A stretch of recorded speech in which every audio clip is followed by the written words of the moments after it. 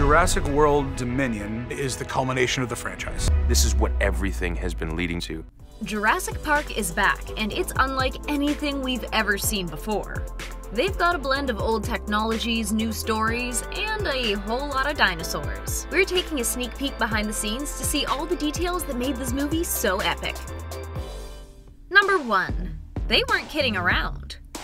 There have never been more dinosaurs than there are in Dominion in a movie. For real. They went ahead and broke their own record.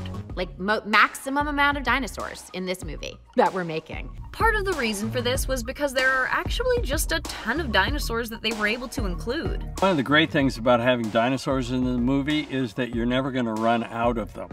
There's always a new species. With the opportunity to bring loads of new dinosaurs to the screen, they didn't hold back. In this movie, we have some incredible new dinosaurs to look at and to watch behave.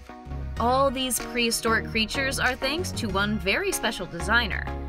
It is a it is a specialized craft uh, to see what John Nolan was capable of. Number 2. If it ain't broke, don't fix it. This is sort of back to basics in the best possible sense. When the OG cast was asked to return, some of them had mixed feelings about the new technology that could be introduced. When we were asked to do this, we assumed with the level of advancements in CGI, it would be amazing and digitally enhanced. But they were wrong. While the idea of CG was super cool, there was a concern the movie wouldn't have the same Dino World magic. But their director Colin knew the only way to do it was the same way they'd started. And you walk on set, are either completely disgusted or in awe or both. There was no shortage of animatronics for these actors to work with. To be able to work with the 3D thing makes life so much more vivid. These real, breathing dinosaurs made the set feel like another world, making it extremely easy for the actors to feel transported. They make all of it come alive. Number 3. Sometimes you gotta do like the gators do. Even if that means getting soaking wet wading through water. Bryce Dallas Howard was just committing to her craft. Plus, who wouldn't want to take a little dip at work? Number 4. Who wants to bet there were snowball fights? You see dinosaurs in snow? For real! And you get to see Chris Pratt having a wild time in the snow as well. When you've got snow covered sets to work with, you've got to milk it for all it's worth. The Jurassic team knew what they were doing, and no doubt Chris Pratt had a blast filming. At least we hope so. Number 5. These are the new dinos on the block. We have amazing dinosaur sequences. There are a number of new dinosaurs that joined Jurassic World, but one of the most exciting, the feathered dino. They've created a dinosaur now that is going to honor dinosaurs that are feathered. And while it's super cool, it's equally terrifying. This thing is freaky, really, really scary. And can we just take a moment of appreciation for these teeny tiny cute dinosaurs? Sure, they're freakishly realistic, but you gotta give it to them. They are cute. Number 6. It was a Jurassic family reunion. In Jurassic World Dominion, you will see the original cast members back. For this movie to work, the original cast had to be on board, but there were some concerns off the bat first thing they asked was, is it a cameo? No, no, it's a real role.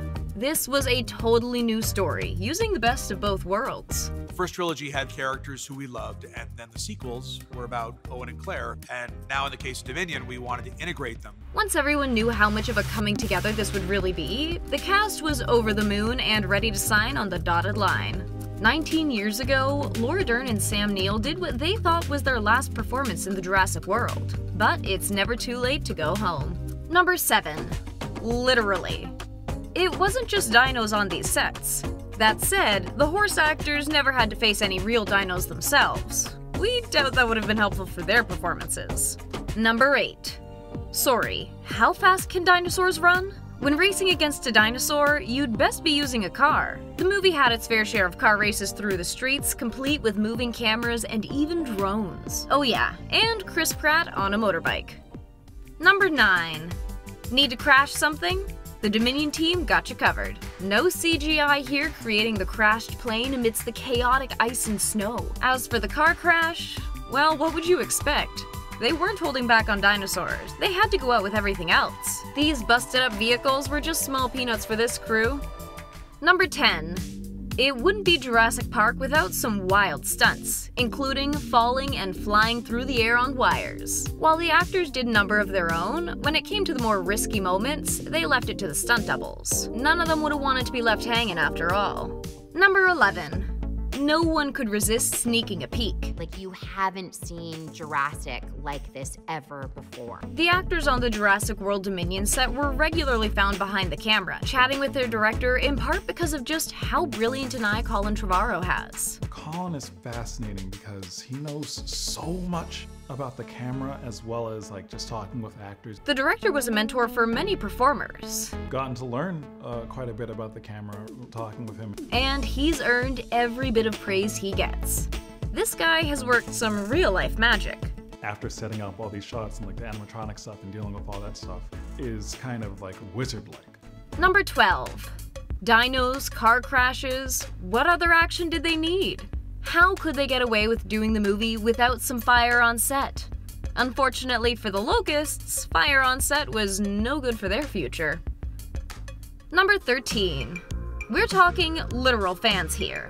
That's right, when you're dealing with dinosaurs, you've gotta break out the heavy duty equipment, including all the huge fans you can find. While editing played some part in bringing the final image together, the actors were dealing with some seriously ferocious winds on set to amp up the more dramatic moments. Number 14. Who didn't want to visit Jurassic Park as a kid? For actor Mamoudou Athie, the experience of being on set amongst all this magic he grew up with watching was once in a lifetime. Very, very surreal. Getting to bring his own character to a world he was already so familiar to made it that much easier for him to perform. It definitely helped that this was one of the most special experiences he'd ever had in his life. I grew up with this and these characters, and it was just kind of cool. Number 15. The dinosaur budget alone was massive. When you're doing a movie that brings so much hype, you've gotta do it right. From the beginning, we really wanted to make something that was new enough and fresh enough that it could give people a reason to come back to the theater. It wasn't going to be cheap to do this, though. No wonder they spent $165 million US on the film. We ha- truly uh, have spared no expense. Yeah, no kidding. The hope was it would all pay off if they could connect with new fans. Also, give kids a reason to hopefully go back and watch the original films. Hey, they're classic movies for a reason. Okay, who else wishes they could be on those sets hanging out with all those dinos? We can't believe all those creatures were real. Do you think they made the right call, or would you have liked to see some CG dinos? Let us know in the comments.